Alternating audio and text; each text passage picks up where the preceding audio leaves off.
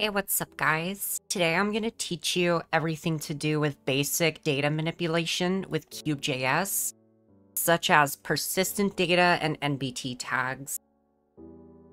Now, I'm not going to be writing too much code in this video. I'm just going to be copy and pasting little bits, explaining it, and then showing you what it does. But anyways, let's get started. Now, I got a comment about this recently so I just quickly wanted to go over it. But someone asked me why I set up my variables like this instead of like this. And the reason is because if you wanted to have multiple things like this, it would take up multiple lines, as you can see. However, with this, you can just go ahead and declare everything from a single line.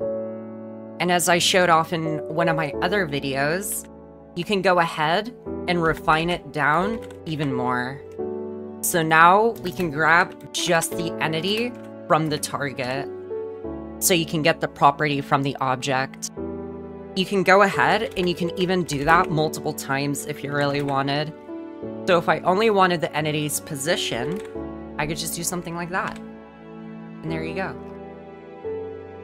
Now for my first example, I just wanted to show you how to do a simple flip-flop tag on an item with NBT. So as you can see here, we're seeing that if it's not in the main hand, we're going to return. And if the item's NBT is undefined, meaning it does not have NBT, then it will set its NBT to empty. That's very important to add, or else it'll do nothing if it reads that it doesn't have NBT and it tries to add it.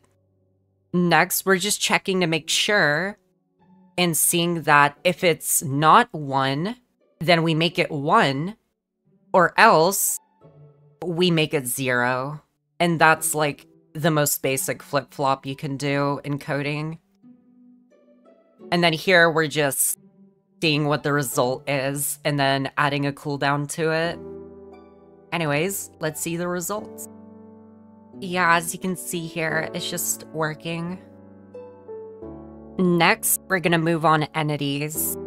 Now, NBT tags with entities have been broken since 1.18, it seems. I've tried everything. I've tried getters, setters, merge NBT. I've even tried like forcefully pushing things to the entity data list. I just it it doesn't work for some reason. So for that, you have to use data or persistent data. So here we're doing the same thing. We're just checking to see that if the persistent data doesn't exist, which is test here, then we're going to set it to one and then a basic flip flop and then read the results. But anyways, let's see what this does. Yeah, as you can see here, it's like flip-flopping between 1 and 0. And if I go here and I do KubeJS, persistent data, entity, zombinis, get star, you can see that it is flip-flopping the data that we have on our player. And persistent data will persist between leaving and joining.